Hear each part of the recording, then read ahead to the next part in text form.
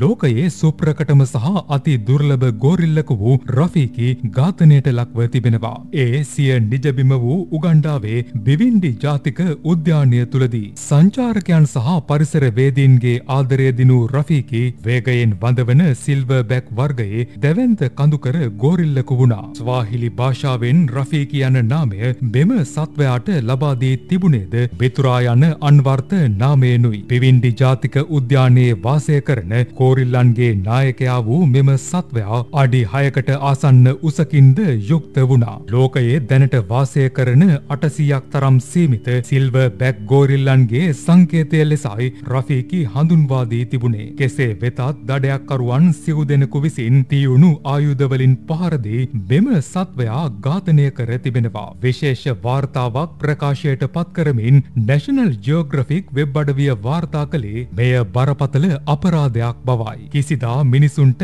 හිරිහැර කිරීමට රෆීකි කටයුතු කර නොමැති බවද එමගින් පෙන්වාදී තිබෙනවා. බිවින්ඩි ජාතික උද්‍යානයේ බලධාරීන් පවසන්නේ සිද්ධිය සම්බන්ධයෙන් සැකකරුවන් හතර දෙනෙකු අත්අඩංගුවට ගත් බවයි. වනෝද්‍යානය තුළ දඩයම් කරමින් සිටියදී රෆීකි කලහකාරීව බාධා කළ බැවින් තම ආරක්ෂාව වෙනුවෙන් දැවැන්තයා ඝාතනය කළ බවට ඔවුන් පාපොච්චාරණය කර තිබෙනවා. මෙම සත්වයාගේ උදරයට සහ සිරුරේ අභ්‍යන්තරයට සිදු වූ හානිමතයි මරණයට පත්ව තිබුණේ. රාත්තල් පන්සියක බරකින් යුක්ත රෆීකි බියකින් තොරව ආසන්නයට ළඟා විය හැකි මිත්‍රශීලී සත්වයකු ලෙසයි නම් කර තිබුණේ. මිතුරා යන නාමය එම දැවැන්තයාට ලැබීමටද එය මුල් වී තිබුණා. සිය නායකයාගේ මරණින් පසුව පිවින්ඩිහි ගෝරිල්ලන් සමූහය මිනිසාගෙන් දුරස්වෙමින් පවතින බව වන උද්‍යාන බලධාරීන් හෙළිකර තිබෙනවා.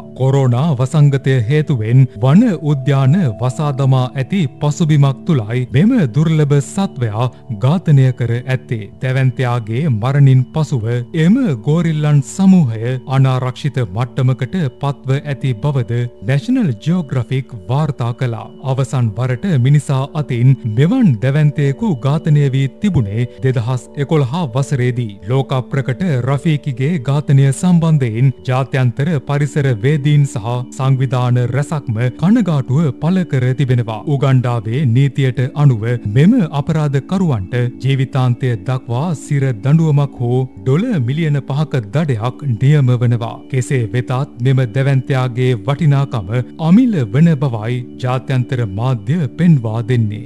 ලොව වටා වැදගත් පුවත් දිනපතා නරඹන්න ලංකා ඒ නිවුස් සබස්ක්‍රයිබ් කරන්න. නවතම වීඩියෝ සඳහා පහත සීනුවේ බොත්තම සක්‍රිය කරන්න.